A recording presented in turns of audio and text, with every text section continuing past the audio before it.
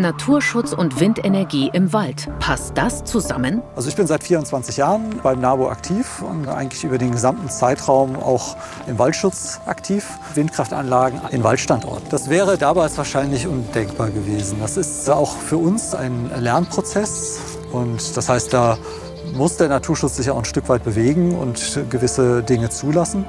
Auch manche Waldbesitzer denken um. Für mich war das sofort klar. Vor zehn Jahren bin ich ähm, nach Hause gekommen, habe den Betrieb übernommen und mein Vater hat mich damals auch dabei unterstützt, diesen Schritt zu gehen, weil wir natürlich auch aus betrieblicher Sicht so einen alten Familienbetrieb auch weiter aufstellen müssen. Wir haben natürlich auch aufgrund der Verbindung zu der Region auch unsere Verpflichtung, auch entsprechend so eine Landschaft voranzubringen.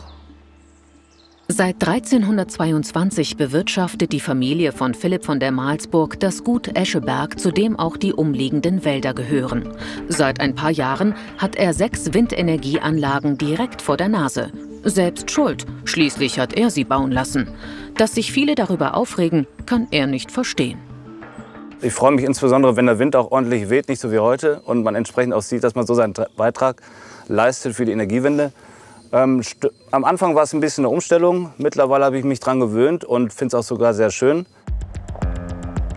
Seit 2017 betreibt er den Windenergiepark zusammen mit der Gemeinde Zierenberg. Vier der insgesamt sechs Anlagen stehen in seinem Privatwald.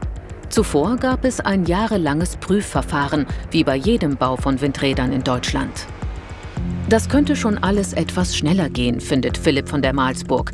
Denn dass es wie bei ihm vier Jahre von der Planung bis zum fertigen Windrad dauert, ist außergewöhnlich außergewöhnlich schnell. Am wichtigsten sind erstmal die raumplanerischen Restriktionen, die man hat oder Auflagen. Das heißt, man muss entsprechend Abstand halten zur Siedlung, das sind 1000 Meter. Dann muss man entsprechende ornithologische oder aviphonistische ähm, Richtlinien einhalten, Abstände zu Rotmilanhorsten oder Schwarzstorchhorste. Dann gibt es Auflagen vom Denkmalschutz im Wesentlichen und dann auch von der Flugsicherung gibt es dann auch noch entsprechende Restriktionen, die man einzuhalten hat. Also man steigt ursprünglich in die Planung ein. Hier war es damals mit ungefähr zehn Anlagen und man kam dann mit vier Anlagen raus. Also man muss da schon damit rechnen, dass man ähm, zwei Drittel oder sagen wir die Hälfte der Anlagen rausgestrichen bekommt.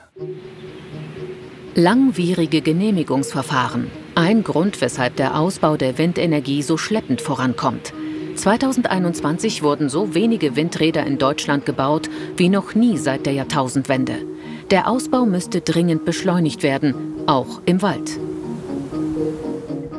Für die Naturschützer vom NABU ein echter Konflikt. Bäume abholzen für saubere Energie? Schließlich haben die Naturschützer zusammen mit den zuständigen Regierungspräsidien Kompromisse gefunden. Windräder sollen nicht in alte Laubwälder gestellt werden dürfen, sondern vor allem in Nadelholzbestände, die sowieso irgendwann gefällt werden. Außerdem sollen Flächen genutzt werden, die durch Sturmschäden brach liegen. Nach Ansicht der Naturschützer funktioniert das zum Beispiel im Reinhardswald sehr gut. Gerade sind hier 18 Anlagen genehmigt worden. Die Debatte um die Windkraft ist sehr emotional und da erleben wir leider häufig, dass auch äh, falsche Botschaften vermittelt werden, äh, dass ganze riesige Wälder zerstört werden. Wenn falsche Bilder transportiert werden, äh, im Falle des Reinhardswaldes wurde mit Bildern gearbeitet des Urwaldes Saberburg, der angeblich zerstört würde, was so kein Fakt ist, dann vergiftet das die, die Diskussion und wir verlassen den, den Weg der Sachlichkeit. Das ist dann sehr, sehr bedauerlich. Aber gerade jetzt der Ukraine-Krieg hat noch mal sehr deutlich vor Augen geführt, wie wichtig das ist, dass wir äh, uns mit erneuerbaren Energien versorgen können. Ausreichend Platz dafür gibt es in Deutschland. Aktuell wird im Schnitt knapp ein halber Hektar Waldfläche inklusive Zufahrtswegen für eine Windenergieanlage benötigt, also zwei Drittel eines Fußballfeldes. Diese muss für die gesamte Betriebszeit der Anlage frei von Baumbestand gehalten werden. Nur eine kleine Fläche, das Fundament der Anlage, ist dabei komplett versiegelt. Bisher wurden bundesweit rund 2300 Windräder im Wald installiert und 1050 Hektar Waldfläche dafür beansprucht. Zum Vergleich, eine Fläche dieser Größe wurde im letzten Jahrzehnt alle 17 Monate durch den Braunkohletagebau in Deutschland vernichtet. Aber ginge es nicht auch ganz ohne Waldstandorte? Das haben Forscher des Fraunhofer Instituts untersucht. Zwei Prozent der Landesfläche, so das Ziel der Bundesregierung, sollen für die Windkraft genutzt werden. Ist das ohne Waldgebiete möglich? Die Antwort ist leider sehr kurz und die heißt Nein, ohne Wald wird es nicht gehen. Also unsere Studien, die wir verschiedene Auftraggeber natürlich gemacht haben für Ministerien, für Umweltbundesamt, deuten darauf hin, dass wenn wir insgesamt auf den Wald verzichten, dann können wir das, äh, Energie, das Ziel der Energiewende nicht erreichen.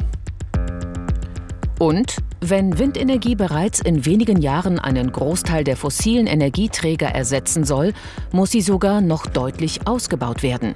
Das heißt, Zusätzlich zu den rund 30.000 vorhandenen Windrädern müssen jedes Jahr 2.000 neue gebaut werden. In den vergangenen Jahren waren es aber deutlich weniger. In zehn Jahren müssten es schon 50.000 Windräder sein. Und dieses Tempo des Ausbaus muss dann bis Mitte des Jahrhunderts gehalten werden. Für uns alle ist das äh, ein sehr, sehr schwieriger Prozess. Äh, wir erleben eine Industrialisierung des Waldes, äh, eine erhebliche Beeinträchtigung des Landschaftsbildes, also des ästhetischen Empfindens. Natürlich tut uns das allen sehr weh, aber gleichzeitig war auch der Klimawandel und die drei trockenen Sommer ein Riesenschock für uns, wo wir nie gedacht hätten, dass es so schnell kommt, der Wandel, auch in Hessen. Das hat eigentlich uns gezeigt, wir müssen auch als Naturschützer hier eine Offenheit zeigen für den Ausbau erneuerbarer Energien. Vorausgesetzt, es werden als Ausgleich Artenhilfsprogramme realisiert. Im Reinhardswald werden jetzt 1300 Hektar Wald sich selbst überlassen. Bäume dürfen nicht mehr gefällt werden. Nach den Erfahrungen des NABU bekommen so mehr Tiere einen neuen Lebensraum, als durch Windkraftanlagen und die Versiegelung von Flächen sterben. Auch Philipp von der Malsburg musste Ausgleichsflächen schaffen. 2500 neue Bäume wurden gepflanzt, deutlich mehr als für die Windräder gefällt worden sind. Sein Wald ist flächenmäßig sogar gewachsen. Natürlich will er mit den Windkraftanlagen Geld verdienen, Einnahmen, die auch der Natur wieder zugutekommen. Die Hitzejahre haben leider bei uns in den Wäldern auch zu enormen ähm, Waldverlusten auch geführt. Von daher sind wir wahnsinnig dankbar dafür, dass wir die Pachteinnahmen nutzen können, um wieder unsere Wälder auch wieder zu bewalden. Ähm, das hat wirklich im Wesentlichen dazu beigetragen. Aber abgesehen davon nutzen wir auch die Pachteinnahmen, um halt ähm, in Escheberg auch in PV-Flächen zu investieren, Dachflächen. Und von daher bin ich ein riesengroßer Fan und versuche auch die Einnahmen, die wir generieren, entweder in Wald zu investieren, reinvestieren oder halt in andere regenerative äh, Projekte. Ob man sich an ihrem Anblick stört oder nicht, sie sind alternativlos. Kohle, Öl und Gas erzeugen pro produzierter Kilowattstunde eine bis zu 100 Mal höhere Menge an klimaschädlichen Treibhausgasen.